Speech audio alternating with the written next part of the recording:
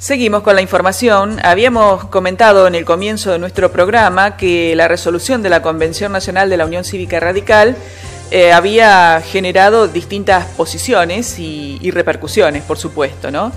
Eh, teníamos la opinión de Salinas Burlati y ahora vamos a tener también la opinión de mm, alguien que ha trabajado junto al senador Ernesto Sanz y que fue el principal artífice de este acuerdo con el PRO y que creo que tenemos en comunicación telefónica. No sé si no hay alguna interferencia, pero em, está el, el ex senador Orlando Costa eh, en comunicación con nosotros. ¿Qué tal, Orlando? Buenos días. Hola, Adriana. Buen día. Un saludo para todos. Yo estoy en, Buenos Aires ahora. Bueno, la, idea es compartir, digamos, con la comunidad cuál es su posición frente a este acuerdo que, que se va a impulsar ahora ya eh, con el acuerdo de, de la mayoría del radicalismo, con el PRO? Bueno, una mm, asamblea democrática donde ganó una oposición por mayoría que es respetada por eh, quienes no pudieron triunfar con, la posición que, tenía, que es el sector este que representaba Julio Cobos.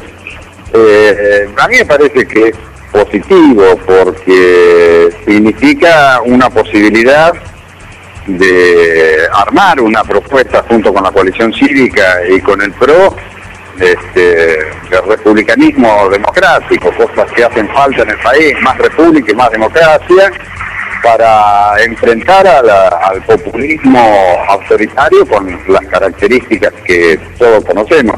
Y por otro lado, de generar una alternativa de verdadero, este, con verdadera vocación de poder eh, para ganar una elección o, en todo caso para algo también muy necesario que es equilibrar el poder, porque lo cierto es que en la Argentina en los últimos tiempos el desequilibrio del poder, la falta de controles hacen que tengamos los excesos que, que todos conocemos, los atropellos a las instituciones, la falta de división de poderes, en fin.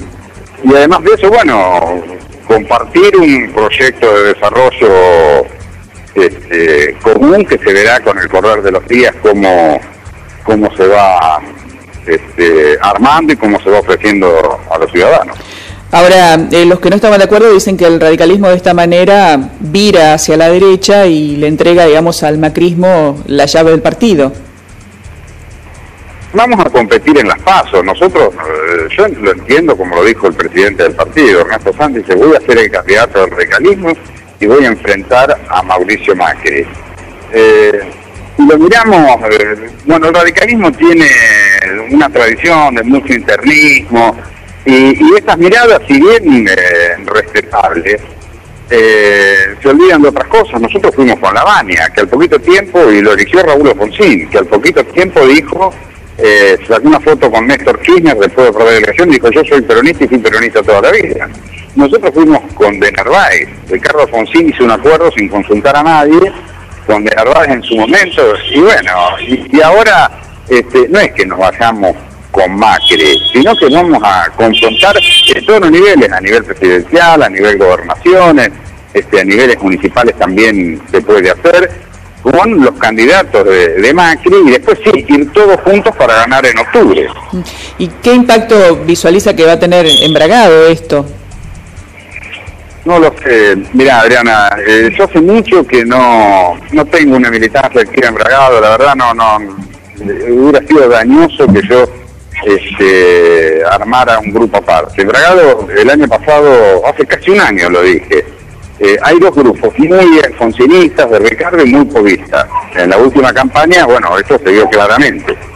Eh, yo no quise participar y di mi opinión sin ofender a nadie. A mí me parecía que no había que hacer una interna, que había que fortalecer el radicalismo. En ese momento el Frente Amplio UNE y dije de una alianza política y social más amplia. Y también dije con todas las letras, y me dijeron que estaba desubicado, de que había que conversar con Vicente Gatica, que tiene un partido local que adhiere al PRO, al macrismo, para ver si él aceptaba el desafío de competir en las pasos y después ir todos juntos para ganar en Bragado. Pero yo esto lo dije hace casi un año. Después no hablé más, porque no, quiero, eh, no sé, me parece que es dañoso si yo hago algo. Eh, sigue siendo mi idea. En realidad eh, tenemos el, me, da la sensación, la, la sociedad está esperando algo de nosotros también para que generemos una alternativa de poder. Muy lejos de las resillas internas que son chiquitas, de las peleas entre nosotros, que pueden ser legítimas, pero no sirven en, este momento. Hay que juntar fuerzas y, sobre todo escuchar a la gente. ¿Y usted sigue trabajando junto a Ernesto Sanz? No, no, yo estoy en un momento de actividad política, más bien técnico-política. Ayudo a mucha gente en la provincia de Buenos Aires, viajo, eh, hago mis aportes, mi experiencia, sigo estudiando pero no estoy en una militancia activa. Tengo muy buena relación con Ernesto, con todo el grupo de él, pero no, no ahora que no, no voy a decir que soy la persona de, de Sanz embragado, ni, ni mucho menos. Bueno. Eh, me llevo bien con todo el mundo, no tengo ninguna voluntad de enemistarme con nadie, ni embragado, ni en ningún lado. Creo eh, y tengo la, la esperanza que la Argentina recupere muchas cosas perdidas y que este, podamos aprovechar las oportunidades que se presentan para sobre todo cumplir con el fin principal de la política, eh, servirle a la gente. Muy bien, ojalá que así sea. Muchísimas gracias, eh, Orlando, por atendernos en este mediodía. Está en Buenos Aires, ¿no? Sí, sí, desde enero que estoy acá, porque bueno, Silvia tuvo un accidente y bueno, por problemas de salud de ella, estamos obligatoriamente acá. Pero bueno, este, ya ahora dentro de dos semanas voy a estar unos días también con mucho gusto en Bragada y les mando un saludo muy grande a todos. Bueno, aprovechamos para preguntar, ya que lo ha mencionado, por el estado de salud de Silvia, que es una profesora, una docente, Silvia Banfi, muy conocida aquí en Bragado. Sí, tuvo un accidente, un golpe muy grande y bueno, una doble cirugía, este, ya va mejorando del brazo, que le sacaron las clavijas que tenía puestas, pero está en silla de ruedas porque tuvo una fractura muy importante de tibia, peroné, bueno, todo el tobillo fracturado. Ahora fin de marzo la vuelven a operar y bueno, este, estamos en rehabilitación todos los días con aparatos y cosas acá y con consultas médicas. Así que bueno, es todo un proceso, con paciencia hay que seguirlo. Muy bien, bueno, saludos entonces para, para ella, que se recupere pronto. Gracias, Adrián. Bueno, gracias. gracias por atendernos. No, por favor, adiós. Chao, hasta luego. Bueno, ahí teníamos otra posición entonces, una mirada favorable frente a lo resuelto en la Convención Nacional del Radicalismo.